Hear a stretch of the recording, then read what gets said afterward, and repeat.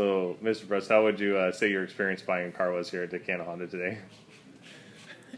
Oh, it was uh, it was pretty easy, and um, um, the uh, I thought the pricing was fair, and I, I, I like the salesman. The salesman didn't give me any lines. He was pretty straight with me. It's a little different than what your normal experience is. Yeah, I don't often buy a car.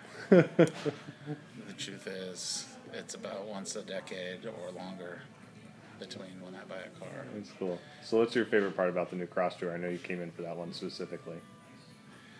I like the fact that it hits all the the right notes, and and when you shove all those notes into one end of the instrument, what should pop out on the other side is a Subaru, but it's not a Subaru. it's not a Subaru. It's true. Well, thank you so much for being part of the Dick Hannah family. We appreciate you. So.